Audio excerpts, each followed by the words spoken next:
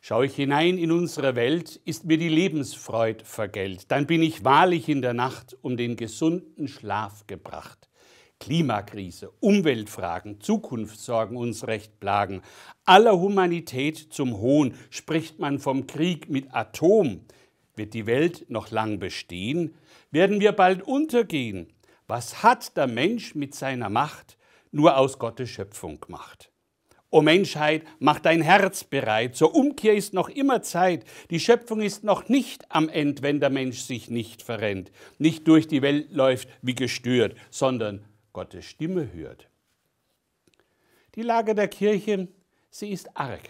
Doch ruhet sie noch nicht im Sarg, ist ihr Kreislauf auch recht schwach, stöhnen viele nur noch, ach, so sag ich und drauf ich wett, nichts Schlechts, was nicht was Gutes hätt.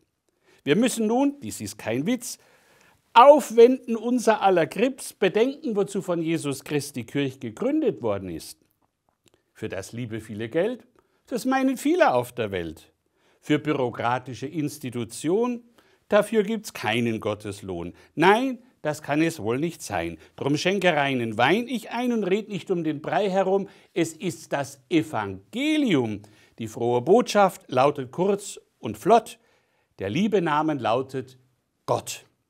Er liebt wirklich alle gleich, kein Unterschied im Himmelreich. Willkommen ist ihm jedermann, der von Herzen lieben kann. Er tut uns durch die Krise kund, ich sag's für ihn aus vollem Mund, ich bin die Liebe, bin das Leben. Wer glaubt, dem werde ich alles geben. So liegt am Ende in der Krise doch für die Kirche eine Chance noch. O lasst uns diese doch ergreifen, dann gute Früchte in ihr reifen, ein neuer Frühling zöge ein, Wachstum gäb's und gut gedeihen. Eines muss ich noch monieren, wie wir beim Arbeitskräftemangel operieren. Wir holen Leute uns aus dem Osten, die in Summe nicht viel kosten, schließen so mit List und Tücke die Arbeitskräftemangellücke.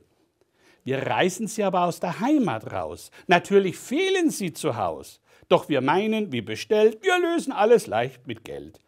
So funktioniert nicht ethisch handeln. Das ist kapitalistisch wandeln. Zulasten wiederum der Armen. Wer soll sich derer dann erbarmen? Wer soll sie pflegen dann im Alter? Wer ist am Ende ihr Sachverwalter?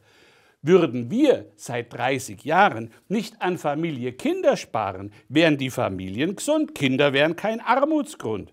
Kinder sind doch unsere Freude und nicht einfach laute Meute. Wo sie spielen, tanzen, singen, lässt sich Zukunft auch gewinnen.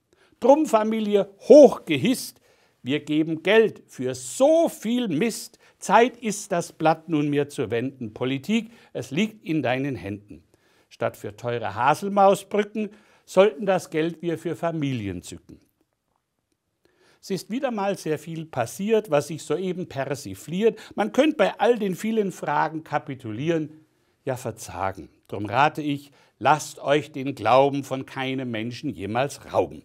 Der Glaube ist unser fester Grund, hält unsere Seele jung, gesund, lässt uns durch diese rauen Zeiten wohlbehütet sicher schreiten. Bis einst uns Petrus ruft hervor und wir stehen am Himmelstor, wenn er dann sagt, geh weiter, tritt ein, dürfen wir uns ehrlich freuen. Das wird ein Fest, gar wunderschön, wenn im Himmel wir uns wiedersehen. Haydn dirigiert den Himmelschor, der Domchor singt uns Mozart vor, die Minis Es wird niemand schaden, hüllen uns in Nebelschwaden, der Kollektenkorb, der wird vergammeln, der Messner, der muss nicht mehr sammeln. Ja, ihr dürft den Ohren trauen, wir werden Gottes Antlitz schauen, dann ist der Herr uns alle nah in Ewigkeit. Halleluja.